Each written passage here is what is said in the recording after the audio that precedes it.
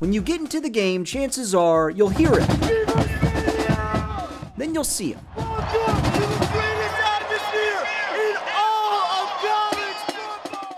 Eric Gaspich is the mic man with all the moves. Student who's um, confident, who has outstanding speaking skills, who um, has a lot of energy, obviously, because he's going to be performing in front of over 100,000 people. To get him on the microphone saying, Are you ready for Penn State football?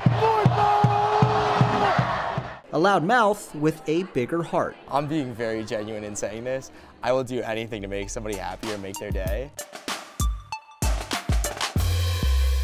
Here's what you don't know. His story starts way before he even picked up a mic. I was playing soccer at the age of 10. I was in a rec league and um, I got tackled by a player on the opposing team. This was not a scraped knee. This was serious. Gaspich had a traumatic brain injury. With a lot of damage to the frontal lobe and the occipital lobe.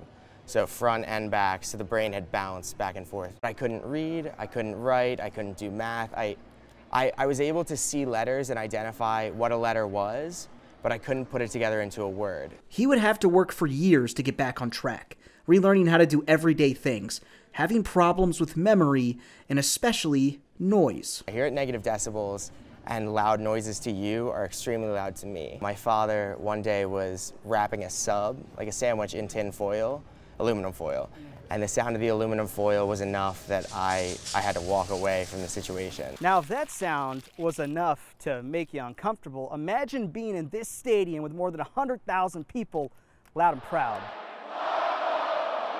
During my freshman year, I didn't even have student tickets to the football games because it was still too loud for me to be able to handle it. During my sophomore year, I decided that I was going to be a Nittanyville student and I was going to be in Nittanyville every week that I could. Even if I had to put headphones on, I was going to be in that stadium because I'm a Penn State fan, live and die, and that's what I was going to do. When he had the chance to try out, well, you know the rest. Are you ready for Penn State?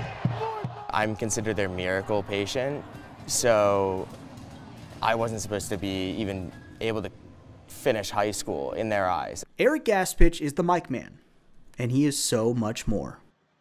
Peter Terpstra for Nittany Nation.